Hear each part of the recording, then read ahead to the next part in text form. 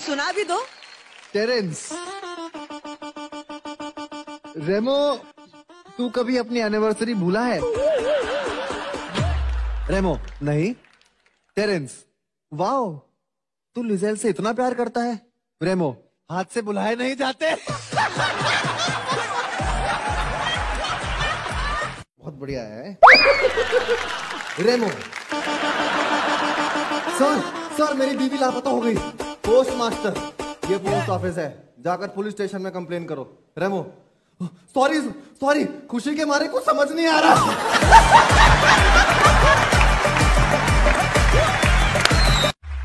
Liesel तुम बहुत भोले हो।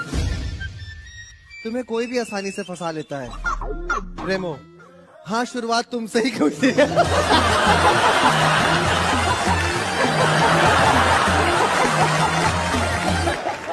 लिजेल मैम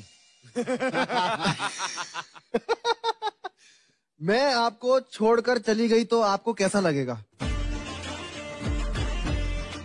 रेमो सर मैं पागल हो जाऊँगा। लिजेल मैम दूसरी शादी तो नहीं करोगे? रेमो सर पता नहीं पागल तो कुछ भी कर सकता आज मुझे हॉरर फ़िल्म देखने का मन हो रहा है बहुत ज़्यादा। रेमो सर अलमारी में हमारी शादी की सीढ़ी देख लो।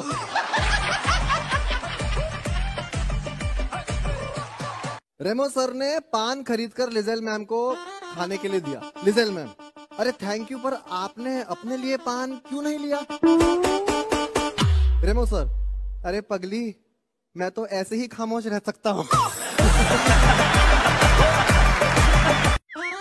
रेमो, अगर तुम्हें एक करोड़ की लॉटरी लगी और उसी दिन मुझे किडनैपर्स ने किडनैप करके तुमसे एक करोड़ मांगे तो तुम क्या करोगे?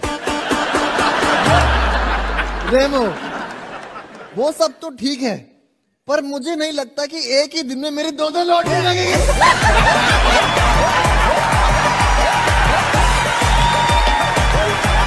फिर भी कितनी बहुत अच्छी लगती हो।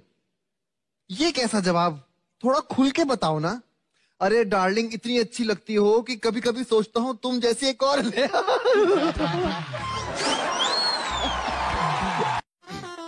दांत कैसे टूटे? रेमो लिजेल ने कड़क रोटी बनाई थी। डॉक्टर तो खाने से मना कर देते? रेमो जी हाँ वही तो किया था।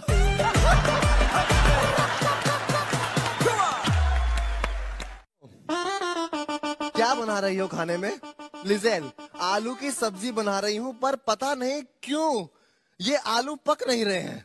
रेमो अच्छा ऐसा करो, थोड़ी देर आलू से बातें करो, देखो।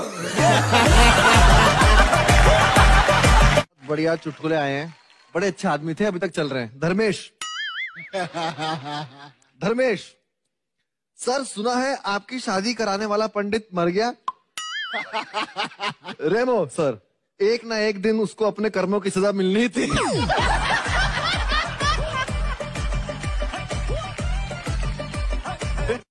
कुछ चुटकुला सुनाओगे? मैं वही सोच रहा था मैं ना एक बड़ा बढ़िया आया है। हाँ? अरे यार।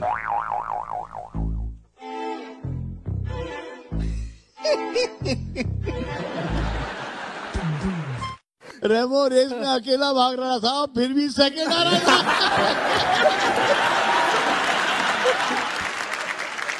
बेचारा जल जल के सावला हो गया, गोरा था।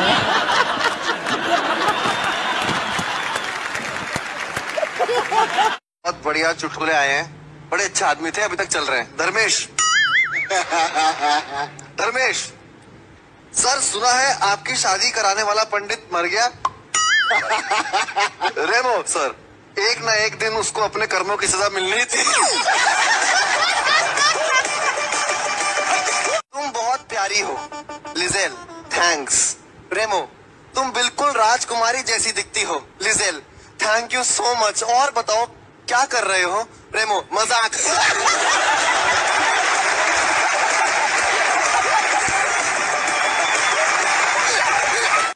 पार्टी रेमो सर को एक सुंदर लड़की से बात करते देख लिजेल मैम उनके पास गई और कहा घर चलो मैं मरहम लगा दूँगी।